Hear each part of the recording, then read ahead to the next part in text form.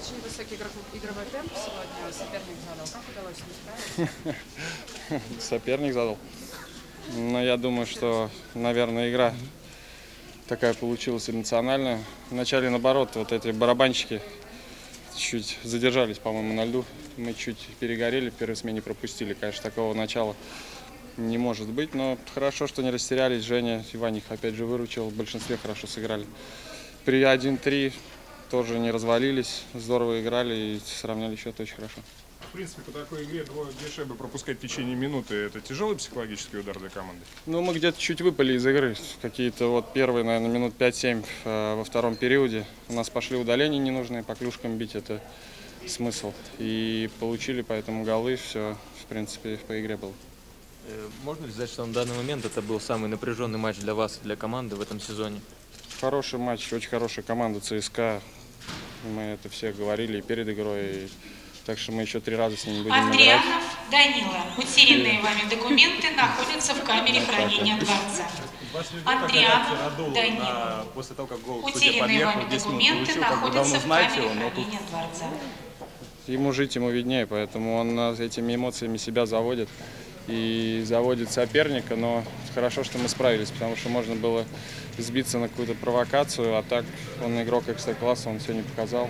Все три гола, которые они забили, были при его участии.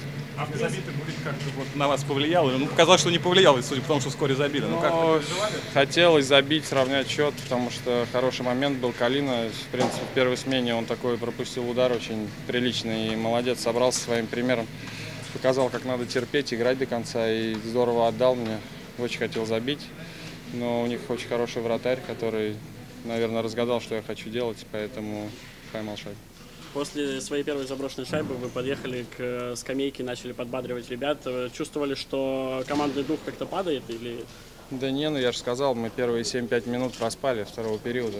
Просто выпали из игры, все сидели на лавке, носы повесили. а Этого мы не можем брать передышки в таких играх с такими командами. Еще недавно такие матчи газеты пестрели заголовками, там, Ковальчук против Радулова. Сейчас этого не было. Вы как оцениваете вот эту историю, что все-таки какие-то персональные противостояния переходят именно в командные?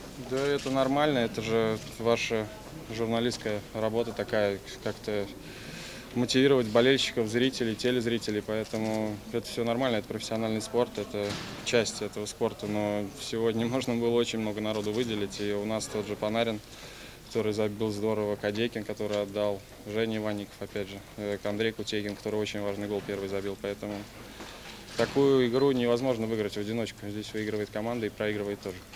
Илья, когда был э, тайм-аут ЦСКА в конце матча, вы что-то очень эмоционально говорили ребятам. Э, Эмоции... Переводил просто. Нет, э, Вячеслав Аркадьевич говорит по-русски, а и были на поле иностранцы, поэтому нужно было перевести. Такое впечатление, что вы эмоции добавили в перевод тоже. Ну, ничего, молодцы, они вышли, здорово отыграли, не дали создать ничего. Поэтому это самое главное. То, что хитрик не удалось сделать сегодня. Ну, ничего страшного, придут они еще, все впереди.